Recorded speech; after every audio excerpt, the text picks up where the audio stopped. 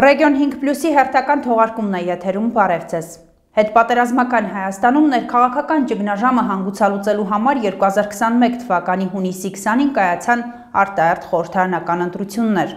Առաջատարի իր դիրքը պահպանեց Նիկոլ Փաշինյանի գլխավորած քաղաքացիական պայմանագիր կուսակցությունը, ստանալով 688761 ձայն կամ քվեների 53.91%-ը։ Ընդամենը ամիսներ անց կայացած տեղական ինքնակառավարման մարմինների ընտրություններին պատկերը բոլորովին այլ էր։ Եթե գրեթե բոլոր համայնքներում խորհրդարանական ընտրությունների արդյունքներով Քաղաքացիական պայմանագիր կուսակցությունն առաջատարն էր, ապա թիմ ընտրություններում մի քանի խոշոր համայնքներում կառավարող քաղաքական ուժը պարտություն կրեց։ Արտահայտ խորհրդարանական ընտրություններով ճգնաժամը երկրում հանգուցալուծվեց, թե ոչ ընդդիմության եւ իշխանության գնահատականները տարբեր են, բայց որ ճգնաժամը տեղափոխվեց տեղական ինքնակառավարման մարմիններ, դա ակնհայտ է։ Հոկտեմբերի 17-ին, նոյեմբերի 14-ին եւ դեկտեմբերի 5-ին կայացած տեղական ինքնակառավարման մարմինների ընդրություններից հետո շատ համայնքներ դեռ ցնցվում են։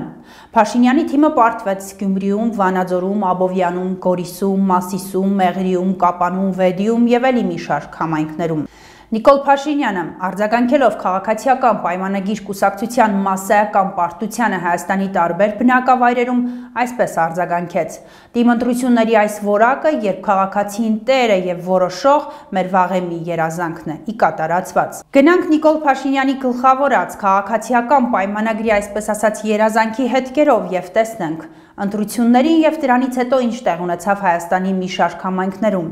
Չնայած հիշյալ հայտարարությանը պարզվեց երազանքի պատկերացումները հայտարարվածից տարբեր են։ Ընտրություններից առաջ եւ հետո քրեական գործերի հայտ եկան։ Դրանց դեռ կանդրադառնանք, սկսենք սակայն Երևանից։ Այստեղ քաղաքապետ փոխվեց, որովհետև նախկինն այլևս չէր համակրում քաղաքացիական պայմանագրին։ Իշխող քաղաքական ուժը չթաքցրեց պաշտոնանկության պատճառները։ Փաշինյանն ասաց, քաղաքապետն ընտրվել է կուսակցական ցուցակով։ Ոնց որ ես այսօր ասեմ, խորհրդանական մեծամասնության հետ ես գործ չունեմ, ինչի է տակում խորհրդա։ Եվ բոլոր օրենքները խորհրդանական մեծամասնությունն է ընդունում։ Եվ խորհրդանական մեծամասնությամբ վարչապետ ընտրվում եւ քաղաքապետ ընտրվում։ Եվ այստեղ ինստիտուցիոնալ կայացման, այստեղ իհարկե կան նաև այլ հարթություններ, կան քաղաքական հարթություն, կա բարոյական հարթություն եւ բազմաթիվ այլ հարթություններ։ Եվ ես ասում եմ, որ եւ շատ կարեւոր եմ համարում, որ իմ քայլը խմբակցությունը սկզբունքայնություն դրսեւորեց եւ կայացրեց այո քաղաքականապես ճշգրիտ եւ գրագետ որոշում։ Բուրըն քննարկումներով, փոխադարձ վիրավորանքներով տեղ ունեցավ փոփոխությունը։ 2018 թվականի հեղափոխության ալիքով իշխանության եկածները անվստահություն հայտնեցին Հայկ Մարությանին, որին հենց իրենք էին առաջադրել Երևանի քաղաքապետի պաշտոնում։ Քաղաքացիական պայմանագիր կուսակցությունում այլևս չէին վստահում Մարությանին։ Դեկտեմբերի վերջից Երևանը ունի նոր քաղաքապետ, բայց տարիներով չլուծված հին խնդիրներ։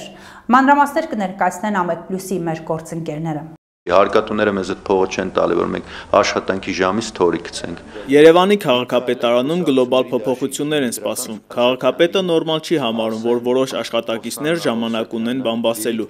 2.5 տարի փոխքաղաքապետ եղած Հրաչյա Սարգսյանը քաղաքապետի պաշտոնը ստանձնեց Հայկ Մարությանի հրաժարականի մասին առաջին հրապարակումներից մոտ 10 ամիս անց, որոնք այս ամբողջ ընթացքում իշխանության ներկայացուցիչները որակում էին բամբասանք։ Ի տարբերություն դերասան Հայկ Մարությանի արդեն 1.5 ամիս քաղաքապետի աթոռը զբաղեցնող ճարտարագետ Հրաչյա Սարգսյանին երևանցիներից շատերը չեն ճանաչում։ Անուն ազգանունը չեմ հիշում։ Չէ։ Անուն ազգանունը գիտեք։ Չէ։ Երևանի նոր քաղաքապետը չի եկել ներկայանա մեզ, որ մենք ճանաչենք։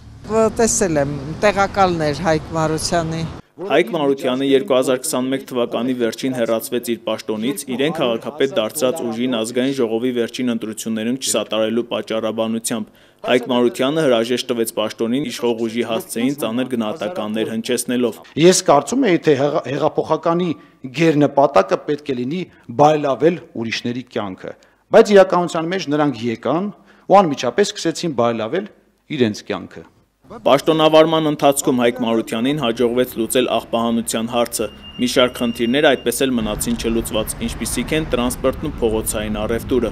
Սկսած փողոցներից սա խնդիր է։ Լրիվ խնդիր է։ Ափսոս Հայկը։ Մակրությունը, սանիտարական վիճակը, այն հին շենքերը, որ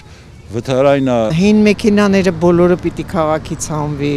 ջարդված մեքենաները Քաղաքացիները Երևանում արկա խնդիրներն ու կատարված աշխատանքը կապում են քաղաքապետի հետ, հաճախ մոռանալով, որ իշխանությունը պատկանում է 5 տարով ընտրված ավականուն։ 2018 թվականի ընտրություններից հետո քաղաքային իշխանությունը վստահված է Իմ քայլը լույս եւ Բարգավաճ Հայաստան խմբակցություններին։ 65 հոկանոց ավականին է նշանակում Երևանի քաղաքապետին, որին օրենքով կարող է նաեւ անվստահություն հայտնել, ինչպես եղավ Հայկ Մարությանի դեպքում։ Հրաչյա Սարգսյանը երրորդ քաղաքապետն է, որի հետ աշխատում է ավականու անդամ Անի Խաչատրյանը։ Հրաչ Սարգսյանի մասին դեռ վաղ է որևէ բան ասել։ Հայկ Մարությանը ավելի փակ քաղաքապետ էր ավականու անդամների հետ չէր շփվում։ Հրաչ Սարգսյանի հետ ի սկզբանե ինք մշտապես կապի մեջ եղել, հեշտ է եղել իր հետ համագործակցությունը։ Դեռ ես չեմ տեսնում լուծված խնդիրներ, ես տեսնում եմ հայտարարություններ։ Հայկ Մարությանի հրաժարականից հետո Երևանի ավականու իմ քայլը խմբակցության մի շարք անդամներ հրաժարվեցին մանդատներից։ Մի քանի հոգի, ինչպես օրինակ Իզաբելա Աբգարյանը եւ Սերգեյ Գյոզալյանը, որոշեցին պահպանել մանդատը դուրս գալով խմբակցությունից։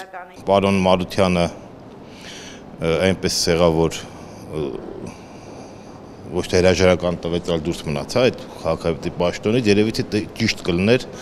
դա լիներ արտահերտ ընտրությունների հետևանքով։ Իսկ հնարավոր են Երևանի ավականու արտահերտ ընտրություններ։ Կարծում եմ, չէ, արտահերտ ընտրություններ որպես այդպեսին ավականիում եղան։ Ժամկետն արդեն իսկ քիչ է մնացել, հետեւաբար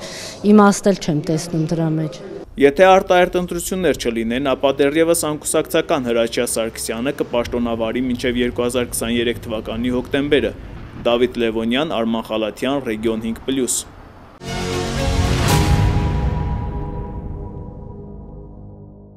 Վանաձոր խոշորացված համայնքում համամասնական ընտրակարգով ավականու ընտրություններին մասնակցեցին ոչ միայն Վանաձորի, այլև Գուգարք, Դարպաս, Շահումյան համայնքների բնակիչները։ Վանաձորը սակայն չունի համայնքապետ։ Միավորված համայնքներում էլ չկան վարչական ղեկավարներ։ Այստեղ ընտրությունները դեկտեմբերի 5-ին էին, դեկտեմբերի 17-ին պետք է տեղ ունենար ընտրված ավականու Անդրանիկ նիստը։ Դեկտեմբերի 15-ին սակայն հաղթած տեխնացում կալանավորվեց։ Քրեական գործը հարուցվել էր 2021 թվականի սեպտեմբերի 14-ին, այսինքն շուրջ 3 ամիս առաջ։ Ինչ է կատարվում համայնքում, որտեղ քաղաքացիական պայմանագրի երազանքը կատարվել էր եւ 12814 մարդ քվեարկել էր այլ տեխնացուի օկտին։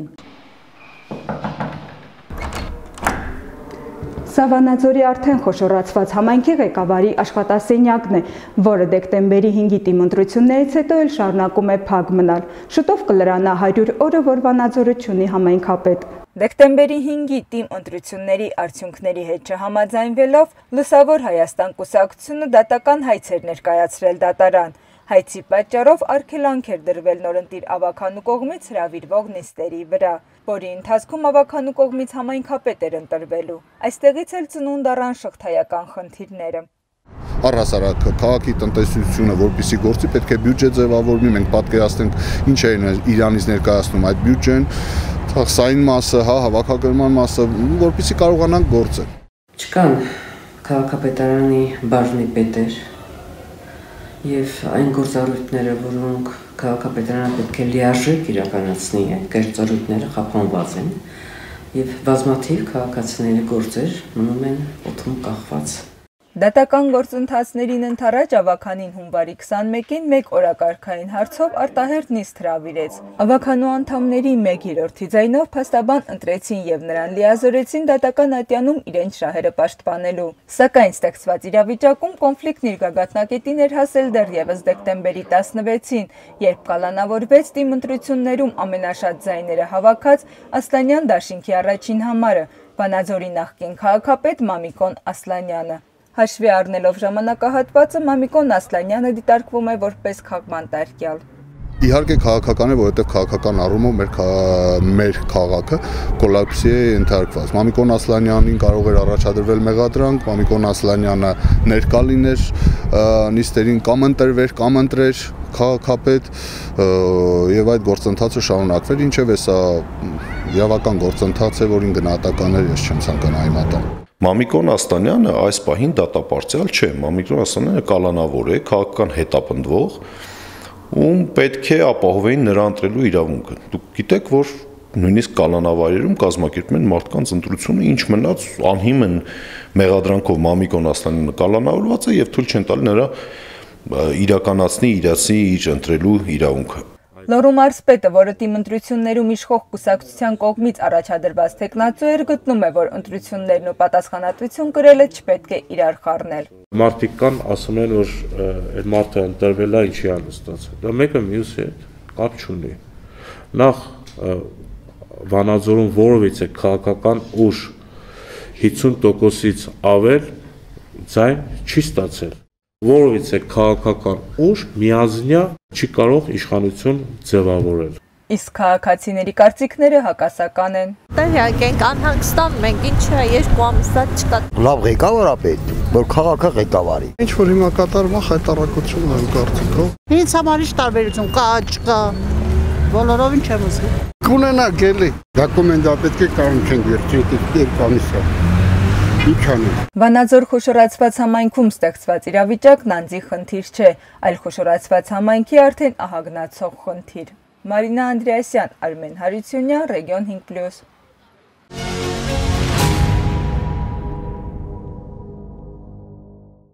Վանաձորում տեղի ունեցածը վարչապետ Նիկոլ Փաշինյանն այսպես մեկնաբանեց. Քրեական գործերը կապ չունեն ընտրությունների արդյունքների հետ, հետապնդումը քաղաքական չէ, ապա հավելեց. Եթե մեր քաղաքականությունը այն լիներ, որ մենք քրեական հետապնդումներով թույլ չենք տալիս, որ այդպիսի իշխանություն ձևավորվի, բոլոր տեղերում այդ նույն բանը կարտահայտվեր։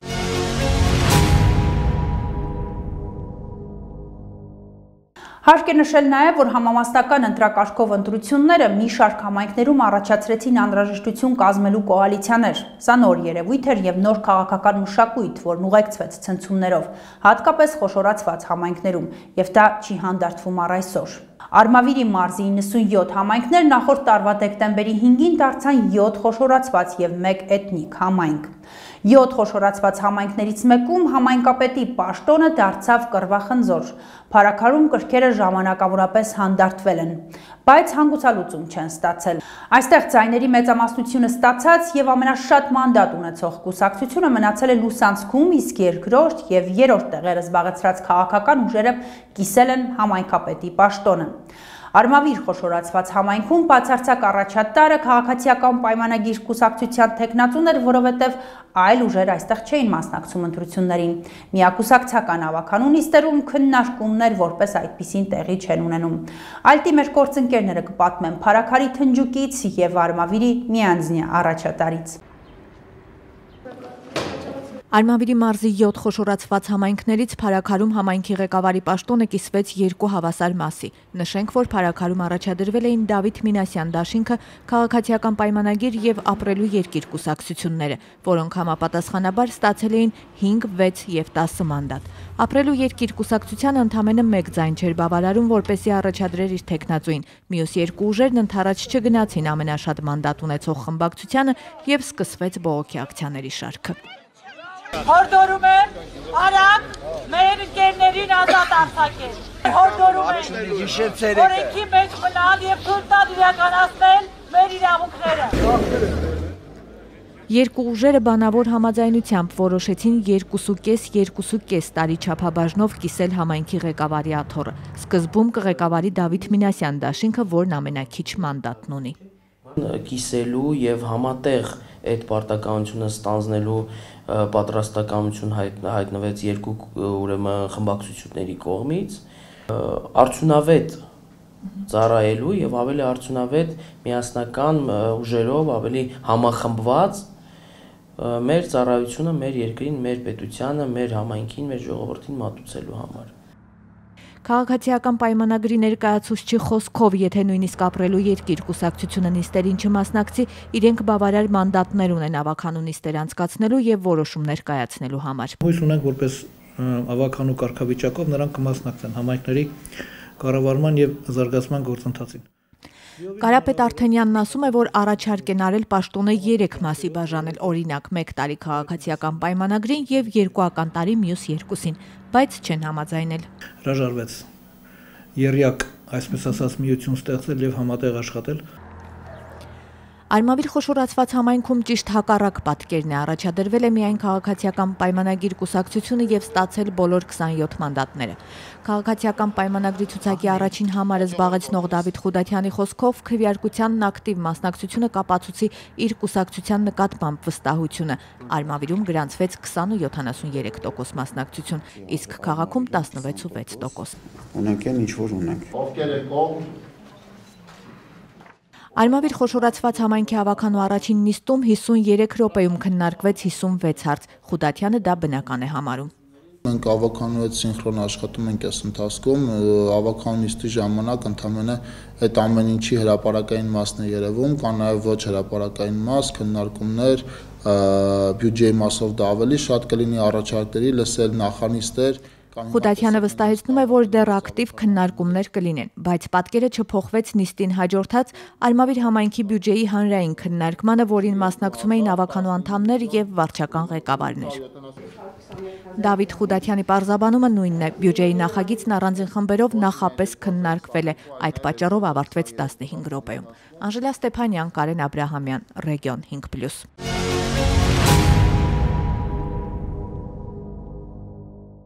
Տեղափոխվենք Կորիս, որտեղ նախադեպը չունեցող իրավիճակ է։ Քվեարկության արդյունքներով մասնակիցների 60% ձայնով Կորիսի համայնքապետ է ընտրվել համայնքի գործող ղեկավար Արուշ Արուշանյանը, ով թե քարոշչության, թե քվեարկության ընթացքում գտնվել է անազատության մեջ։ Նա կալանավորվել է ազգային ժողովի ընտրություններում իր դաշինքի օգտին ցանկալի արդյունք արձանագրելու համար երկու եւ ավելի ընտրողի կաշառք տալու մեղադրանքով։ Թե ինչպես է տեղ ունենում տեղական ինքնակառավարումը Կորիս համայնքում, որի ղեկավարն արդեն 6 ամիս է անազատության մեջ է, կպատմեն Կորիսի մամուլի ակումբի մեր գործընկերները։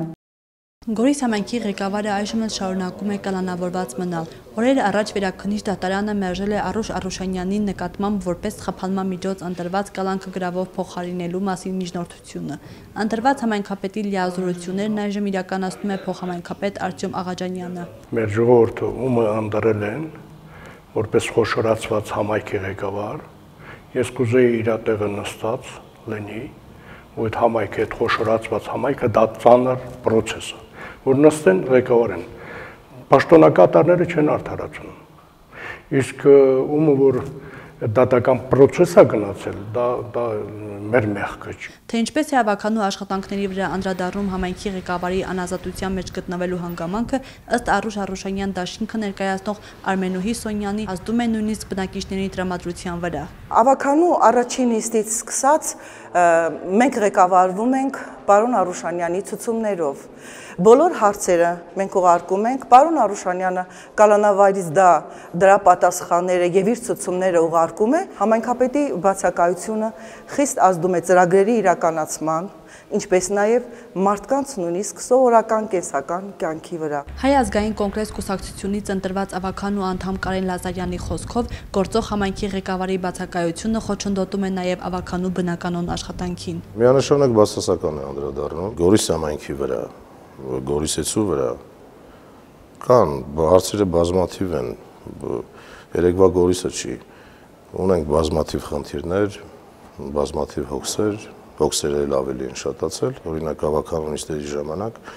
ելի լինում են հարցեր, որ անմիջապես համայնքի ղեկավարը պետք է պատասխանի։ Ընտրված համայնքապետի կալանավորման փաստը չմեկնաբանեցին քաղաքացիական պայմանագիր կուսակցության կողմից ընտրված ավականու անդամները։ Չնայած ստեղծված իրավիճակին Գորիսի համայնքային իշխանությունը շարունակում է աշխատել։ Տարբեր բաժիներ համայնքապետարան իրաց աշխատանքները պատշաճ կատարում են, բայց եթե թիմի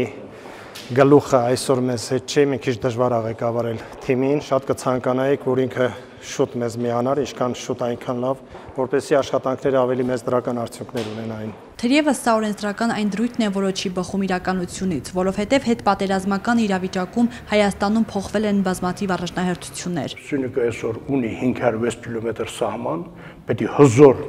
խոշորացված համայնքի ղեկավարինի իր տեղը նստած ամեն օր ամեն օր առավոտից մինչև գնու աշխատի պլանավորի կազմակերպի Արուշ Արուշանյանի դատական գործի քննությունը դեռևս չի ավարտվել իսկ սահմանամերձ համայնքի լուծում պահանջող բազմաթիվ խնդիրներ շարունակում են օրակարգում մնալ Հեղինե Մինասյան, Անահիտ Բաղդասարյան, Ռեգիոն 5+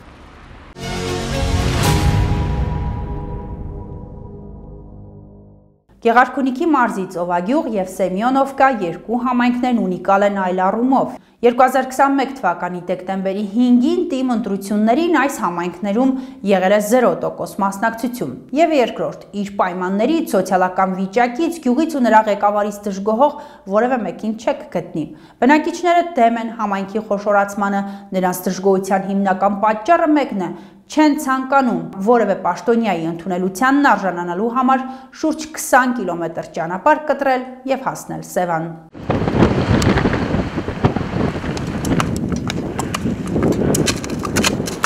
Սա Գեղարքունիքի մարզի Ծովագյուղ եւ Սեմյոնովկա գյուղեր տանող ճանապարհն է, համայնքներ, որոնց անունը սկսեց ավելի հաճախ շրջանառվել վերջին թիմ ընտրություններից հետո։ Հոկտեմբերի 5-ին Ծովագյուղում ընտրելու իրավունք ունեցող մոտ 3000, իսկ Սեմյոնովկայում շուրջ 200 բնակիչ ընտրատեղամասեր ոդկ չդրեցին։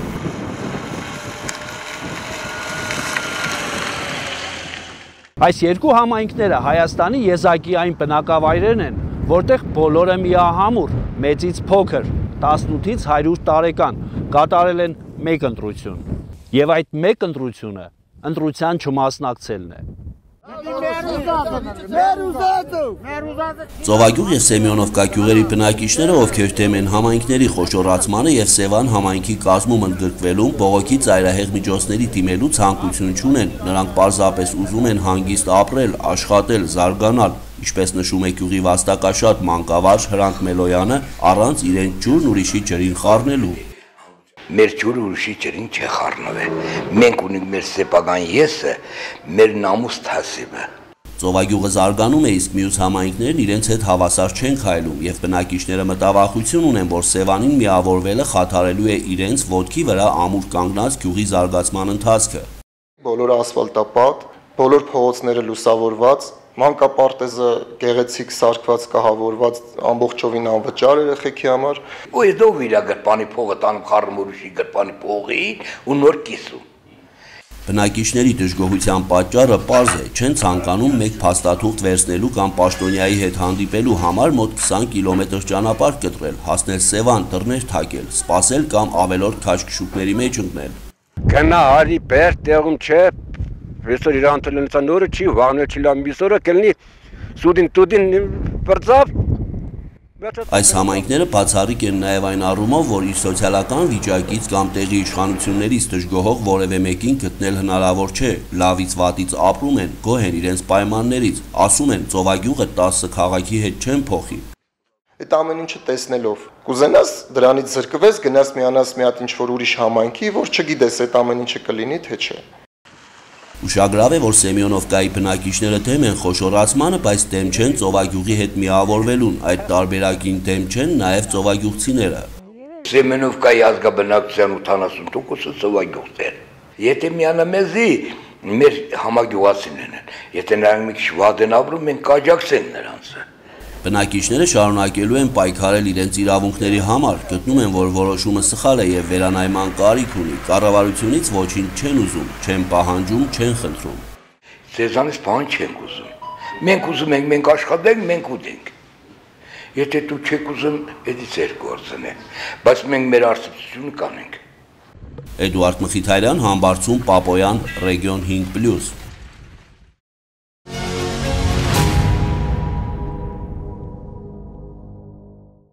ընտրություններից հետո Շիրակի մարզում շարունակում է վիճահարույց մնալ Ամասիա կրկնակի խոշորացված համայնքի ղեկավարումը։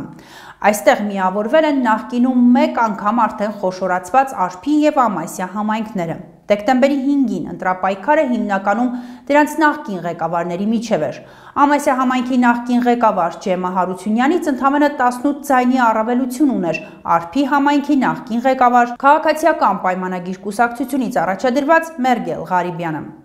Երկու ուժն էլ վեցական մանդատ էին ստանալու, բայց Մերգել Ղարիբյանի գլխավորած թիմը մանդատներից հրաժարվեց ավելին ամբողջ կուսակցության ավականացուցակով ինքնաբացար հայտնեցին 9 անդամով ավականի ձևավորեցին Ջեմա Հարությունյանի ղեկավարած Արփի Ամասյա Դաշինքն ու ՀՀԿ-ն եւ համայնքի ղեկավար ընտրեցին Ջեմա Հարությունյանին։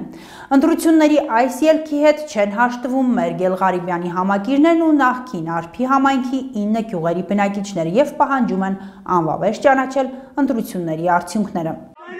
Բացը դու կորչ ունիք ստեղ։ Դու ինչ կորձ ունիս։ Ես Սարատի։ Ես էի մամական։ Ամասիայի նորընտիր ղեկավարներն արդեն որ երրորդ անգամ այսպիսի ընդունելության են արժանանում արփիում։ Գալիս են փաստաթղթերն ընդունելու, բնակիչները թույլ չեն տալիս։ Ոստիկանները հանձնաժողովի անվտանգությունն են ապահովում։ Բնակիչներն էլ արդեն երկու ամիս համայնքապետարանի շենքն անառիկ են պահում։ Թույլ չեն տալիս նոր ղեկավարին մուտք գործել կառույց։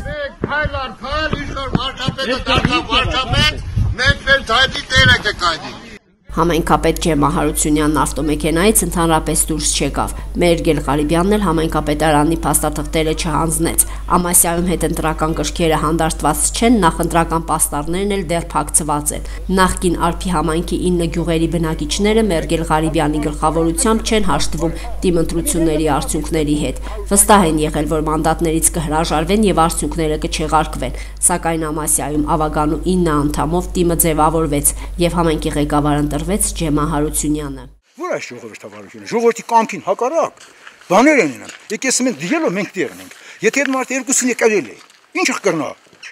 Օրենքն այդպես որ։ Ամի մարդիկ ուզում են իրանց տված ձենին, իրանց քվեին տեր կանգնին։ Ժողովրդի մի մասնիկ նույնիսկ իր ձայնն է պահանջում եւ հենց պահանջում է մերգելից, որ չհանձնվի։ Մեր նախընտրել տեխնացուն կրել է Հիմի բերե մեր վզին փաթաթում են ինչ որ ուրիշ գյուղապետ։ Դες միասնական կմնանք այնքան, մինչև Մերգել Ղարիբյանին թողնեն աշխատի կամ մենք չենք միանա Ամասիային ու վեր։ Արփի համայնքը լուծարված է։ Համայնքապետարանի հաշիվները նախկին ղեկավարի համար սառեցված։ Գյուղտեխնիկան շահագործելու իրավունք եւս չունի, բայց մեր նկարահանման պահին տեխնիկան խոտ է տեղափոխում ու մաքրում ձյունը։ Բնակիչներին տեղեկանք տրամադրող չկա, բայց հարկերի հավաքագրումը չի ընդհատվել, բանկերում են մուծում։ Լուծարված համայնքում անիշխանություն է, թե իշխանություն առանց օրինական հիմքերի։ Չեմ կարող ասել անիշխանություն է, քանի որ մեր Գելղարիբյանի իշխանությունը չգիտեմ օրինական թե անօրինական գործում է։ Ընտրությունների արդյունքները չեղարկելու Մերգել Ղարիբյանի բողոքը մերժել են ընտրական հանձնաժողովները եւ վարչական դատարանը։ Հիմա բողոք հարկելու են վերաքննիչում։ Իրեն առաջարկել եմ, որ եթե դուք դատական եղանակով դուք կդառնաք համանքի ղեկավար, ես պատրաստ եմ ընդունում հանձնումը անմիջապես կատարել եւ ձեզ շնորհավորել։ Չի համաձայնվում։ Մի փոքր ժամանակ էլ կսպասենք ամեն ինչ իշ տեղի կգնի, ամեն ինչ նորմալ կլինի։ Շիրակի մարզպետարանի պատասխանատուն փորձում է խնդրին չմիջամտել, լուծման տարբերակ էլ չի առաջարկում, իսկ բնակիչները պատրաստ են հասնել մինչև սահմանադրական դատարան, ու մինչ այդ համայնքի նախկին ղեկավարը չի պատրաստվում հանձնել փաստաթղթերը։ Կարինե Կազարովա, Համբարձում Պապոյան, Ռեգիոն 5+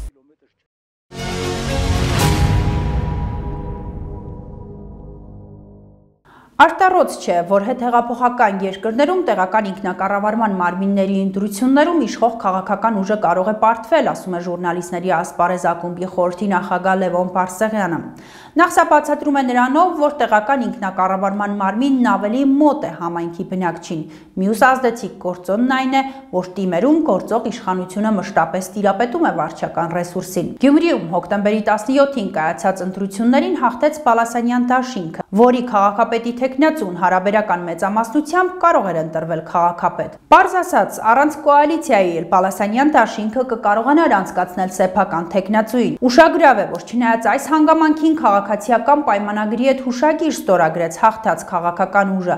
ավելին սկսեց առատորեն այսպես ասենք վարչատրել նրանց տարբեր պաշտոններում քաղաքացիական պայմանագրի համակիրների նշանակելով։ Գյումրիում 109453 ընտրողից գնաց ընտրության 26417-ը կամ ընդամենը 24.14%-ը։ Հաղթանակը Պալասանյան դաշինքինն էր։ Պահպանողականությունից զարմանալ չարժե, ասում է Լևոն Բարսեղյանը։ Օրինակ Գյումրիում 58 հողակները համայնքապետարանի աշխատակազմի հետ մոտավորապես 1820-1840 հոգի են, այդքան ընտանիք, եթե բազմապատկում եք 3-4 քվեով, ստացվում է մոտ 8-9000 10000 քվ։ Բալասանյան դաշինքի օկտին քվյարկեց 9631 գյումրեցի։ Սամվել Պալասանյանը չմասնակցեց ընտրություններին, ինչու թերևս կարելի է ենթադրել. Իշխանական շրջանակներն արդեն իսկ շշնջում էին հնարավոր քրեական գործերի մասին։ Առաջին համարը Վարդգես Սամսոնյանն էր Պալասանյանի թիմակիցը։ Դաշինքը ստացավ 14 մանդատ, քաղաքացիական պայմանագիրը 11։ Պալասանյան Դաշինքը կարող էր սեփական տեխնացուին ընտրել քաղաքապետ հարաբերական մեծամասնությամբ։ Սակայն սկսվեցին կուլիսային բանակցություններ, պարտված քաղաքացիական պայմանագիր կուսակցության ներկայացուցիչների ակտիվ մասնակցությամբ։ Ընտրություններից շուրջ 10 օր անց, երբ բանակցությունները դեռ անպտուղ էին, հոկտեմբերի 28-ին ԱԱԾ-ն Պերման ենթարկեց քաղաքապետարանի աշխատակիցների, այդ թվում Պալասանյանի մերձավոր շրջանակներից։ Ազգային անվտանգության ծառայությունը հաղորդեց. Կաշառքի գործով ձերբակալվածներ կան։ Ազգային անվտանգության մարմինները շարունակում են հետևողականորեն ձեռնարկել քրեադատավարական եւ Ինչ տեղի ունեցավ բանակցող տղամարդկանց հետ կուլիսներում կամ ձերբակալվածների հետ ազգային անվտանգության ծառայության նկուղներում դժվար է ասել։ Երկու օր անց հոկտեմբերի 30-ին կուլիսներից դուրս եկան կանայք, ձերք-ձերքի սեղմեցին եւ հայտարարեցին։ Պալասանյան Դաշինքն ու քաղաքացիական պայմանագիրը հուշագիր են ստորագրում։ Իգործ, իշակավակի Քաղաքապետ դարձավ Պալասանյան Դաշինքից Վարդգես Սամսոնյանը, երկու փոխքաղաքապետերի պաշտոնները բաժին հասան քաղաքացիական պայմանագրին։ Շատ ուրախ որ մեր քաղաքական ուժերը կայացրին այդպիսի որոշում։ Սուրեն Պապիկյանի ազգականին տրվեց փոխքաղաքապետի պաշտոններից մեկը, մյուսը ստանձնեց ԿՊ-ական, մեկ այլ ներկայացուցիչ Դավիթ Արուշանյանը։ Համատեղ մենք իշխանություն ենք Պարտված քաղաքացիական պայմանագիրը սակայն շարունակում է քաղաքապետարան ու պաշտոնների փայատեր դառնալ 14 բաժիններից 4 բաժնի պետի պաշտոն այս պահին թափուր է, երկուսում արդեն ԿՊ-ականներ են տեղավորվել։ Իսկ ինչպես է տեղ ունենում քաղաքի կառավարումը, ընդդիմադիր եւ իշխանամետ ուժերի համագործակցությունը, Զարթոն խմբակցության ղեկավարն ասում է, մտնոլորտը կառուցողական է։ Համայնքապետի, փոխհամայնքապետերի հետ մեր աշխատանքային հանդիպումների արդյունքները ցույց է տվել, որ չկա անձնական շահ Լևոն Պարսեղյանն ասում է, դատելով հանգամյա զարգացման ծրագրի զգալի փոփոխություններ չեն նախատեսվում։ Սկզբունքորեն չի տարբերվում նախկինում եղած հանգամյա եւ դրանից ավելի վաղ եղած Ինչ է կարծում պիտի տարբերվեր։ Որովհետեւ քաղաքն ունի շատ ծանր մարտահրավերներ, որոնց լուծումները դրանց մեջ պիտի երևային։ Մենք փորձում ենք նաև մեր հեղափոխական մոդեցումները, մոդեցումներով, որը չի նշված հինգամյա ծրագրի մեջ, հեղափոխական մոդեցումներով շարժվել առաջ։ Իսկ ինչ է ասում Գյումրիի քաղաքապետը, ինչպես են թանում քաղաքի կառավարումը։ Գյումրիի նորանշանակ քաղաքապետի պաշտոնավարման 104-րդ օրն է։ Լռությունը չեն ցանկանում խախտել եւ խոսել լրատվականների հետ։ Ասում են այս փուլում կշարունակեն լռել։ Արմենի Վարդանյան, Համբարձում Պապոյան, Ռեգիոն 5+։